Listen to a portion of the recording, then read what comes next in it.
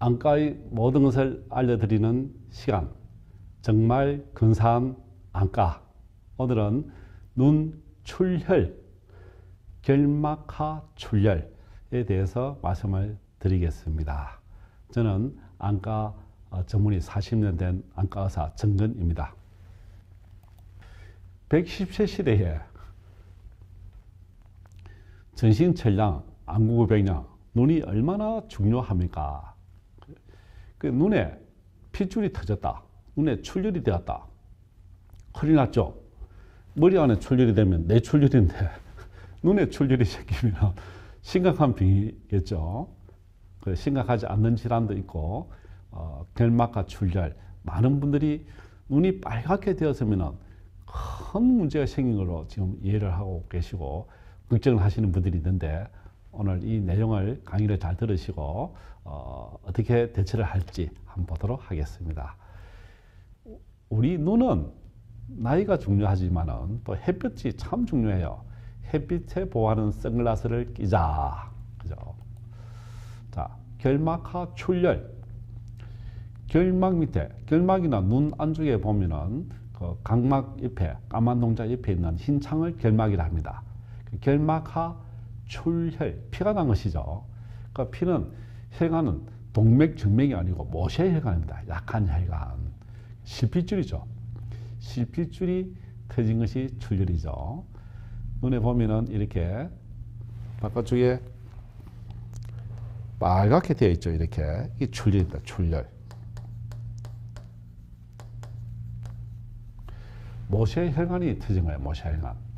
그러니까 모세 혈관이 터지면은 혈관 안에 있는 적혈과 그 조직에 고인 것이죠. 이것이 결막하 출혈이라 합니다.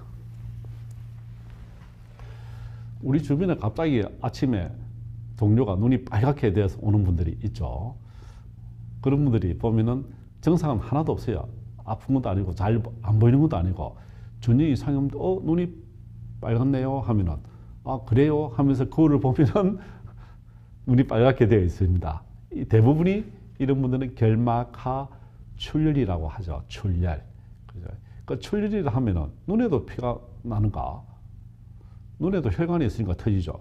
피부 밑에도 피가 다치면은 피멍이 생기잖아요. 피멍이.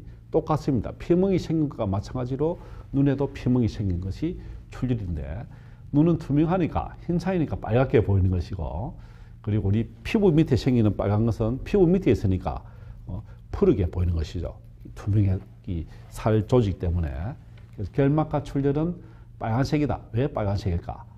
혈관 안에 있는 적혈구가 붉은 적자, 적혈구가 나와서 피가 고여 있으니까 빨갛게 보이는 것이죠. 피가 빨갛습니다.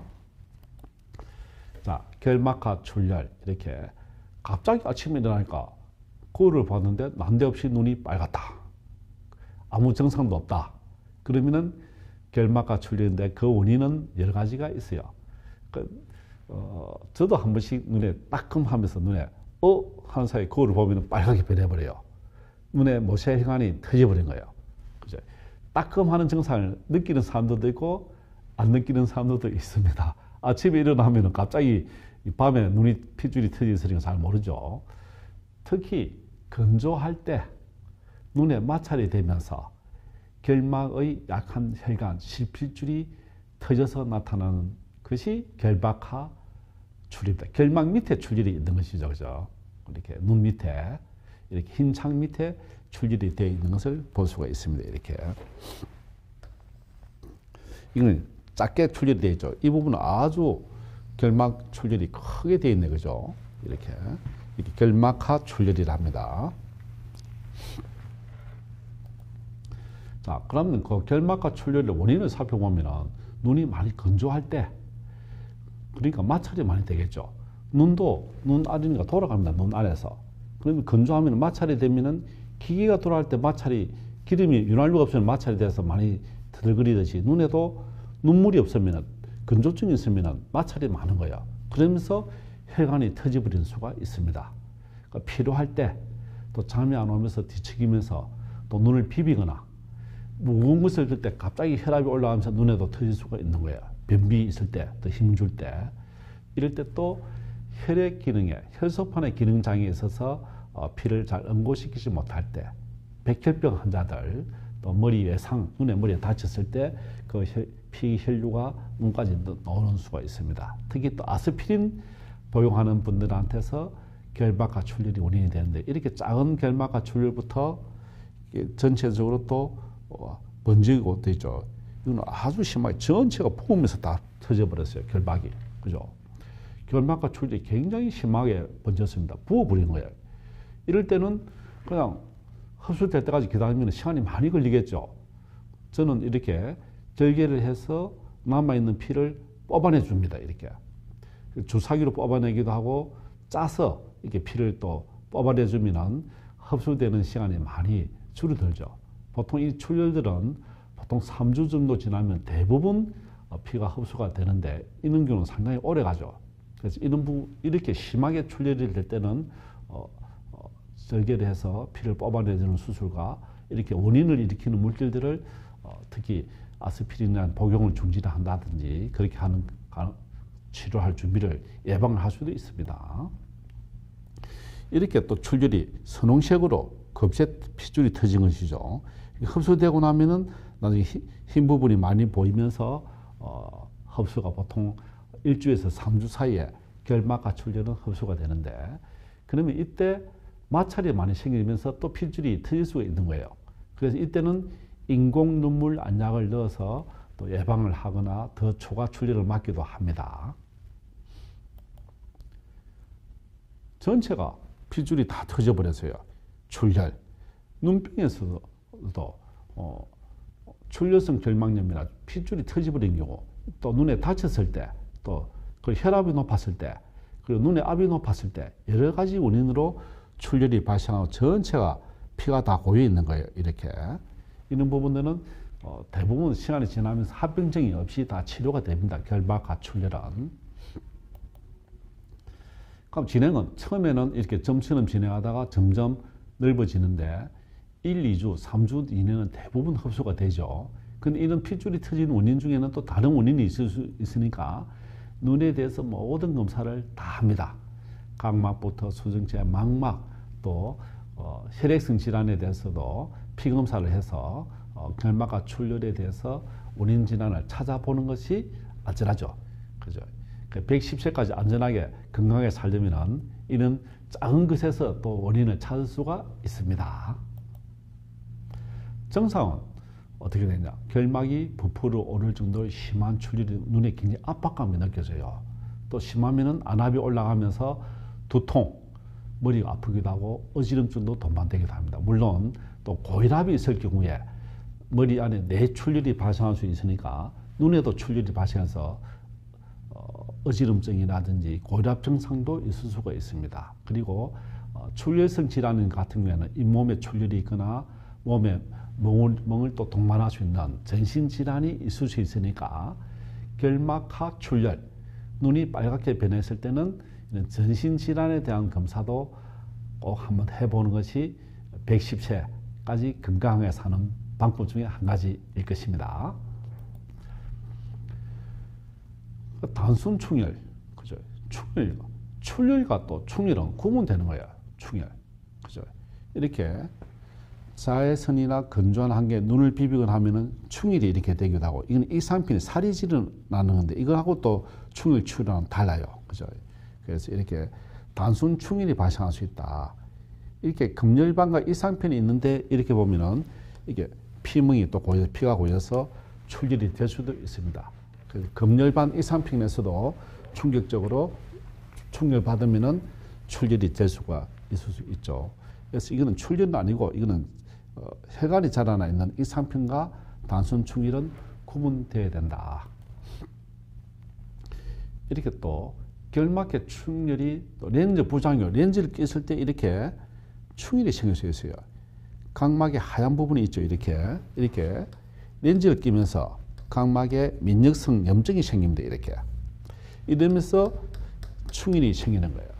이 부분은 출혈이 아니고 충혈이다. 충혈. 각막에 염증이 있으면 세균이 있으면 충혈이 있다. 이렇게 생기는 거예요. 충혈이. 자, 출혈과 충혈은 뭘까?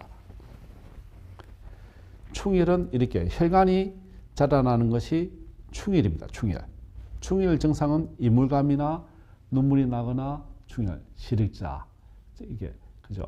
이렇게 충혈과 일으키는 원인 중에 여러 가지 원인이 있는데 눈병을 포함해서 컨택트 렌즈의 부작용으로 결막에 충혈이 발생할 수 있죠. 그 출혈은 피가 고인 것이고 충혈은 혈관이 커진 것이다. 그러니까 렌즈 부작용이 이렇게 렌즈 낀 채로 2시간 이상 잠을 자면 눈에 충혈이 발생할 수 있습니다.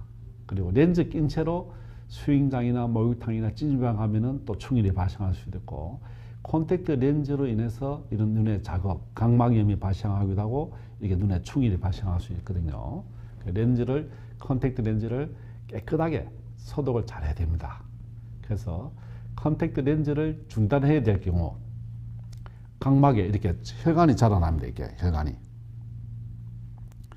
산소 공급이 안 되니까 그리고 이렇게 혈관이 자라나면서 각막에 흉터를 발생할 수 있고 세균이 들어가서 이렇게 각막 궤양이 발생하는 거예요. 각막 궤양이 고름이 고여 있습니다. 이렇게 그죠?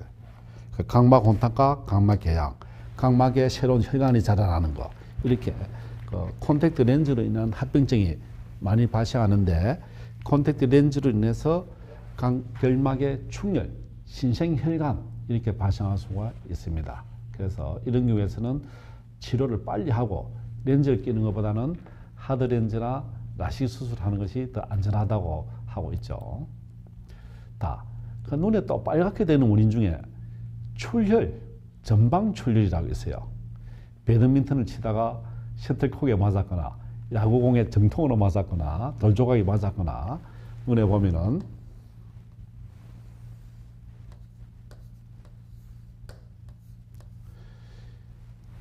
맞으면은 이 혈관이 닫히면서 이 피가 이렇게 고입니다. 이렇게 피가. 이 전방이라 하는 전방. 앞쪽 방.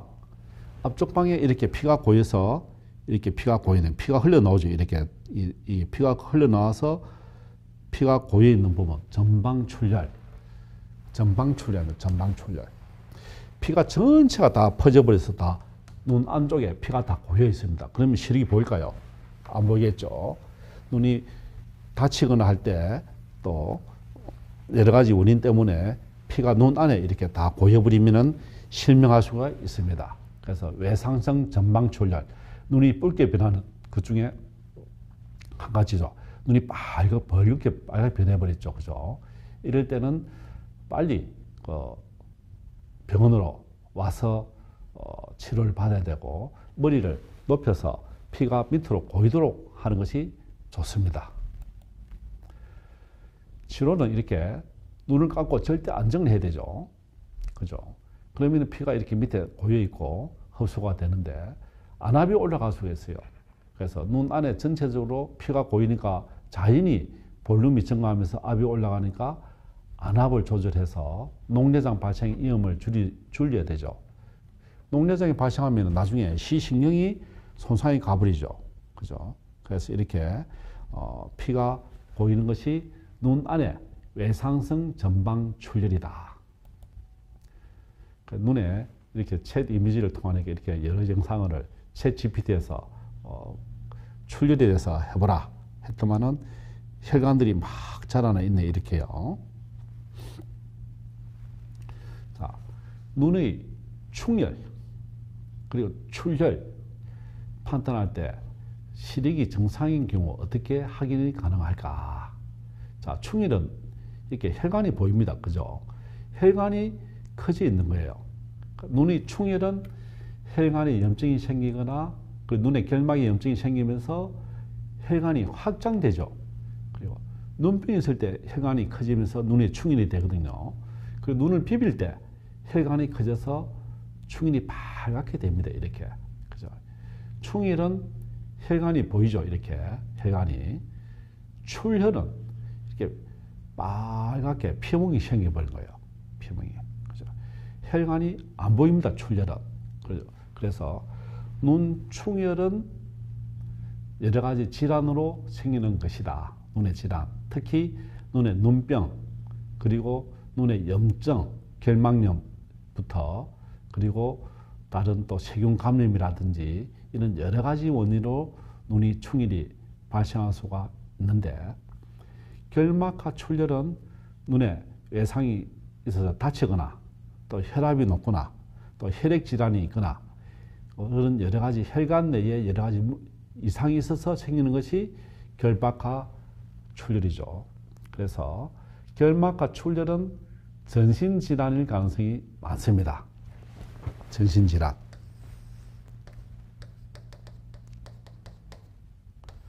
눈충이는 눈 자체에 눈 자체에 이상이 있는 거예요. 그래서 충일이 있거나 출혈이 있으면은 꼭 안과에 와서 검사를 해야 됩니다. 검사를. 작은 것 하나로 큰 병을 조기에 발견할 수가 있죠.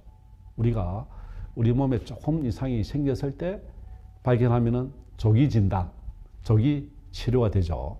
근데 암이라도 늦게 발견하면 암이 온몸에 퍼져버리면 수술하더라도 회복이 상당히 어려울 수가 있는 거예요. 눈에도 이상이 생기는 것이 가장 초기 증상이 눈의 충혈인 겁니다. 충혈.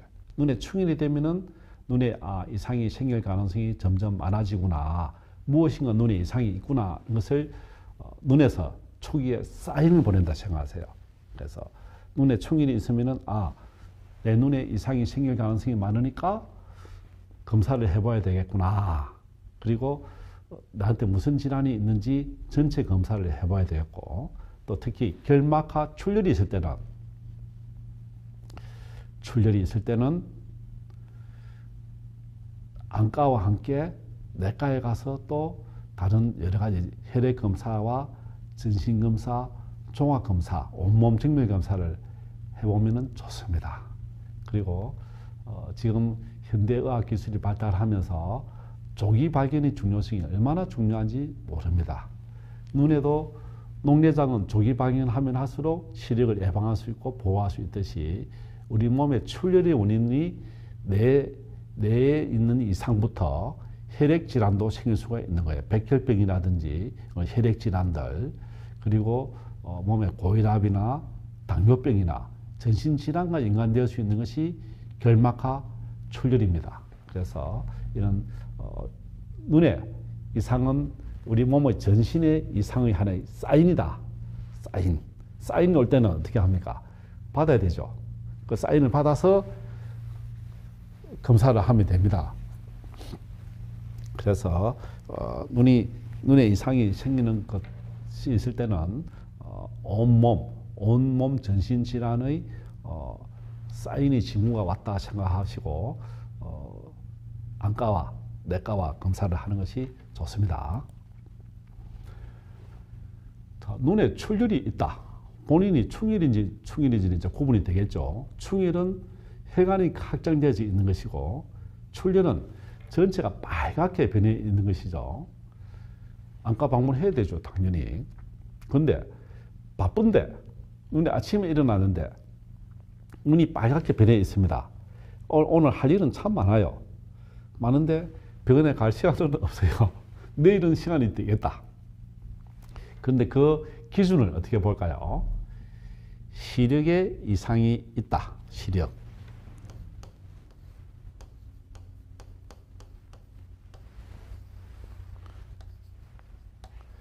안과 질환의 급성, 급성 질환을 구분하는 중요한 포인트는 시력입니다. 시력. 시력이 안 좋으면 눈에 이상이 생긴 것이다 생각해야 됩니다. 눈에 출혈이 있는데 시력에 문제가 없다. 시력표가 잘 보인다. 시력표가 집에 없죠. 그럼 어떻게 할까요? 텔레비전에 있는 글자를 잘 볼 수가 있으면 정상이라 생각하시면 됩니다. 그래서 그리고 버스 번호가 잘 보인다 생각하면 정상이다 생각하시고 시간 여유가 약간 있으니까 당장 안 가도 빠른 시간 내에 안과에 가셔서 검사를 하는 것이 좋고요. 눈이 침침하다, 안 보인다. 눈에 충혈, 출혈이 빨갛게 되어 있는데 그러면은 바로 즉시 안과에 가셔야 돼요. 그러면은 눈 안에 전방 출혈 그리고 망막 출혈 등 심각한 시력 장애 발생한다면은 빨리 안정을 취할수록 피가 흡수가 되면서 후유증, 합병증 발생률이 적습니다. 그래서 어, 눈에 빨갛게 되어 있는데 시력이 정상이라고 하면은 조금 더 있다가 눈에 눈이 침침하고 시력이 떨어졌다. 잘 안 보인다 하면은 안과로 꼭 급성 질환이다 생각하시고 안과로 가셔야 됩니다.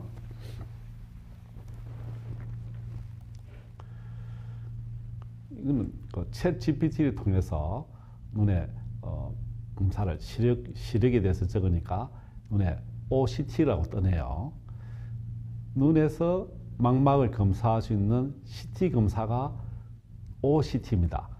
머리 CT는 brain CT 있죠. 머리 CT, MRI도 있고 눈에는 OCT라고 하는 거야. OCT. OCT를 통하면은 눈의 시신경, 혈관, 망막 이 부분을 단층 촬영해 볼 수 있는 어, 최신 특별 기계입니다.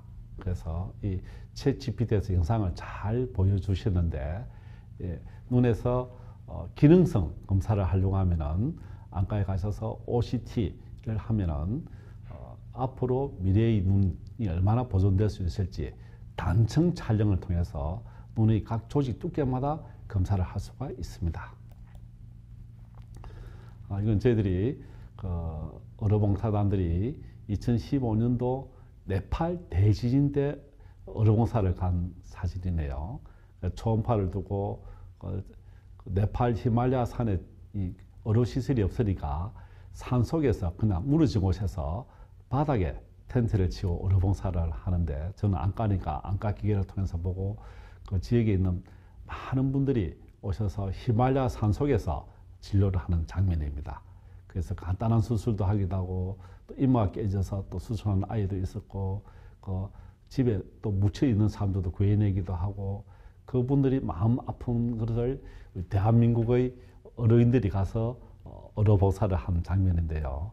그 이후 석 달 뒤에 다시 가서 그 네팔 지역에 어로봉사를 하고 그분들 그 중에 또 눈이 없는 아이를 데려와서 또 수술해 준 그런 아이도 있었고 이 히말라야 산에 펴져 있는 영양수액입니다. 영양수액. 그 영양 탈진 상태인 거예요. 이분들이. 그 탈진 상태에서 이렇게 영양수액을 꽂고 이분들이 그 매몰되어 있다가 다시 구출되어 있는 분들, 온몸 전신 상태가 불량한 분들 이렇게 어, 영양 수액을 의료봉사단들이 한국에 어, 태극기를 단 의사들이 가서 어, 의료봉사를 한 사진들입니다. 그래서 한국과 네팔 대지진을 통해서 또 많은 분들이 또 치료받고 수술받고 한국 네팔 우호관계를 의사들이 가서 많이 만들어준 사진입니다. 그래서 지금도 대한민국의 많은 의사들이 어, 자신이 가진 의료 기술을 어, 국내와 그리고 해외에 또 의료 봉사를 통해서 또 봉사하고 있고 이 일들이 숨은 봉사자들의 그 헌신으로 대한민국의 의료가 또 세계 곳곳에 봉사를 통해서 꽃이 피고 열매를 맺고 있습니다. 히말리아 산속에 핀 영양수액 얼마나 아름답습니까? 자, 오늘은 특별히 어, 정근 원장님은 나이가 많아 보이는데 왜 얼굴이 그렇게 젊게 보입니까? 해서 저한테 물어보는 분들이 참 많아요. 제가 6학년 중반인데 이제 안과 의사 된 지가 40년이 된 의사로서는 굉장히 오래됐죠. 그래서 어, 의사들도 젊게 사는 의사들도 많습니다. 그래서 첫 번째 11가지 건강 비결을 말씀을 드리면은 긍정적인 마음을 가져라. 그죠? 부정적인 마음을 가지면 아픈 것도 더 아파져요.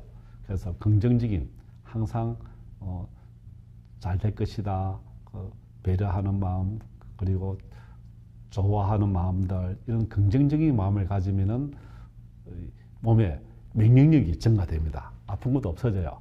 잘 안 아파요. 그리고 두 번째 어, 저는 술과 담배와 가식, 가식은 좀 한 번씩 하는데 술, 담배는 아예 안 합니다. 그래서 술, 담배, 가식을 피하라. 우리 몸의 노화의 원인 중에 나이와 햇볕과 세 번째는 술, 담배입니다. 피하십시오. 저는 안과 의사로서 선글라스를 꼭 쓰라고 권합니다. 햇빛을 피하라. 네 번째, 사회봉사와 기부를 하라. 그죠? 우리가 사회봉사에 기부를 많이 하면 할수록 엔돌핀이 생성됩니다. 그러면서 몸의免疫 기능이 증가되는 거예요. 그래서 어, 언젠가는 우리가 죽게 되는 인생도 있는데 살아있을 동안 사회봉사 기부를 하고 가자. 그죠? 다섯 번째, 참 중요해요. 큰 병 생기기 전에 작은 병, 아플 때 즉시 병원에 가면요. 빨리 발견할 수 있습니다. 지금 세계 의료가 최고 수준의 대한민국은 최고 중의 최고의 수준인데 즉시 병원에 가서 조기 발견하면은 기적같이 발견하면은 오래 살 수가 있습니다. 나는 튼튼해, 건강해, 어? 병원에 안 가도 돼 하는 분들은 나중에 암이 온 전신에 퍼져 있는 분들 가끔씩 보거든요. 그래서 저는 주변에 있는 분들 아프면 빨리 병원에 오십시오 합니다. 그래서 조기 발견하도록. 그리고 건강검진은 돈을 아끼지 마라. 그래서 입원해서 아플 때마다 아픈 곳을 다 가서 검사하라. 건강검진은 국가에서 하는 국가검진을 잘 활용하면 좋습니다. 7번. 저는 아침에 비타민을 두 알을 꼭 먹어요. 그래서 비타민을 아침에 꼭 복용을 하십시오. 또 8번. 매일 짧은 거리는 걸으라. 저는 항상 출퇴근을 자전거로 합니다. 자전거 길이 참 잘 되어 있어요. 걸으라. 9번. 스마트폰으로 둘의 사용을 하라. 모든 것은 스마트폰이 요새는 컴퓨터예요. 그래서 스마트폰에 메모를 포함해서 연필 쓰는 사람 요새는 거의 없어졌어요. 스마트폰에 다 기록하면은 어, 두뇌 사용을 해야 90세 되어서도 치매에 안 걸립니다. 10번 스카프로 목을 따뜻하게 하라. 목을 따뜻하게 하면 저는 스카프로 목을 항상 메어요. 자전거 타고 다니니까 바람이 세니까. 그래서 스카프로 목을 따뜻하게. 저는 잠을 잘 때도 목에 스카프 메고 잡니다. 겨울에는. 그러면은 만병을 예방할 수가 있습니다. 11번. 우리 나이 드신 어르신들께서는 항상 병원에 갈 준비를 하시고 그리고 죽음을 준비를 하시면서 노후 자금은 꼭 지켜두십시오. 그래야 또 치료를 잘 받을 수가 있습니다. 전신 체량, 안구 구백량. 오늘은 눈의 충혈, 또 출혈, 또 결막하 출혈, 안내 출혈, 눈의 피에 대해서 다 말씀을 드렸습니다. 그리고 어, 우리 몸이 천냥이면 눈은 900냥일 정도로 눈은 귀합니다. 110세까지 살 동안 잘 볼 수 있는 눈 하나하나 설명해 드리는 40년 안과 의사 정건입니다. 감사합니다.